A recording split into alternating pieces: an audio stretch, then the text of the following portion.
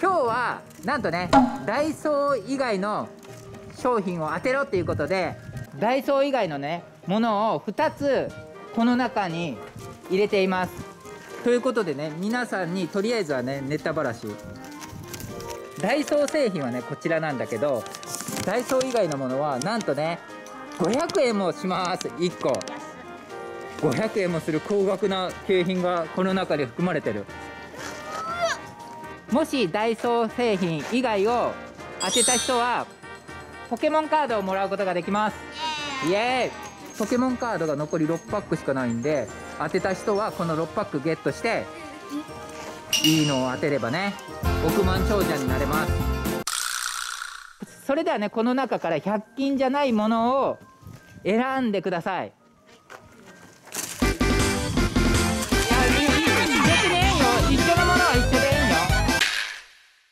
あのー、一緒のもの選んでも OK だけこれです2つ選べる2つ。2つ。2つ選べる。しっかり見て。ゆうちゃんハサミとマスクだね。せなくんはハサミとこれなんか光るやつ。そしてさきちゃんがレジャーシートとゴキブリホイホイ。えさくらも一緒？そしてみやちゃんは？レジャーシートとハサミ？あじゃあうちもこれレジャーシートとハサミでさくそれ？うちミヤと一緒。それでいい？他にもいっぱい高級なものあるよ。いやいいよいいよいいよ。これずっともゼリー。それ何回も見たわ。これなんかもう見て。がっつりダイソーって書いてある絶対がダイソーって書いてある。絶対ほら違うじゃんこれダイソーじゃないじゃん。いやいやこれは違うじゃん読み方違うじゃん。選んだ？はい結果発表します。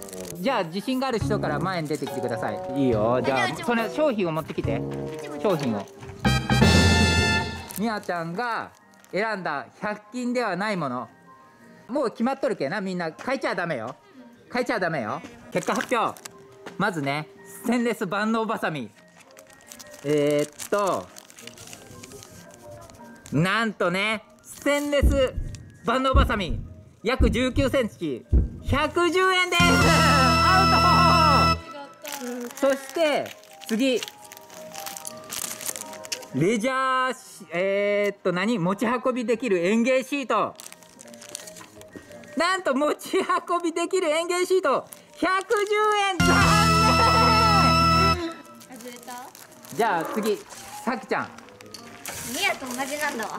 一緒なの？一緒なのよ。えー、悲しいじゃんそれ。悲しい。ということでさきちゃんもう残念です。さくら。次さくらはもう選んだやつは変えれないからね。まず園芸シートみんなこれ選んだね。すごいな。なんでこれが100均じゃない思った？すごいなまあとりあえずこれアウト。そして気になるバルくんゴキブリ用。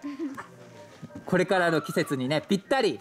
じゃあねレシートの中に入ってるのかな。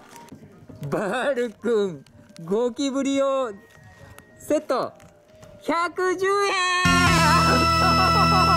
残念です。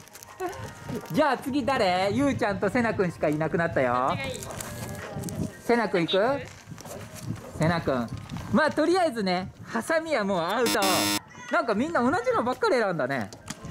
そしてせなくんのこの一番安そうなプニプニクマさんタイマーライト。ね。果たしてどっちなんだ？見てるみんなはね分かってると思いますけど。なんとねタイマーライト。クマさんの497円。正解！すげえ。せなくんすげえ。さすがダイソー。ようたもんなすごい。じゃあ最後ゆうちゃん。最後ゆうちゃん。ね。ゆうちゃんもうとりあえずハサミはね。アウト。そしてネオガードのマスク。ね。もうあんまり使わなくなるかもしれない。これからはね。マスク。果たしてね。110円なのか。見ていきましょうなんとネオガード小さめマスク。497円正解。ということでこの2つがね今回買ってきた中では100均製品ではありませんでした。ただ100均で置かれる可能性はあります。今後ね。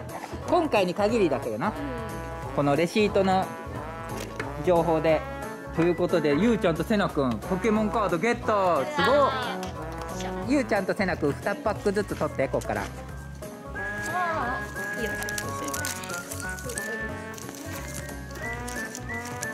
い。そして残りね2パック残っちゃいました。ということは誰か1人ポケモンカードゲットできない人がいる。誰だそれは？知らねもしかしておっちゃん。か！ガビーン！今見てるみんなはね1人1パックずつ配ればいいじゃんって思ってるかもしれませんけどこれが勝負の世界です。え こうやって。あそう。それな。いいことに気づいた。シンプルにじゃんけんで決めてください。じゃあとりあえずね今手に入れたポケモンカード開けてみようか。開けてください。しんちゃん在庫っぽいものを買ってきそうっていうのは絶対やっいいの出りゃいいな。ちょっと楽しみなんよななんか出そうな雰囲気がするなあなんでもいいけど出りゃいいの。カーフルノーマジで？見ていい？なんちゃった？リアフルノーマル見て見て。おいい。お EX? ゆうちゃん何？ああ全然。あゆうちゃんあれじゃん。エネルギーなんとかで最終か。せあとせなくんだけじゃん。あとせなくんだけ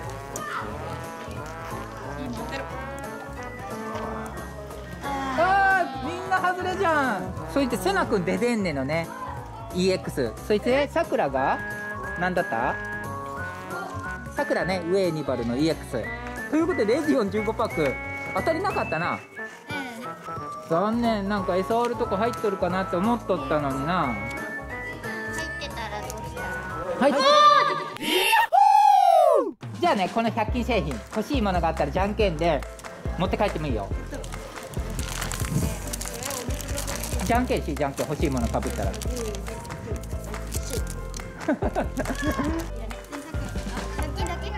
あなんでもいいよこれなんか。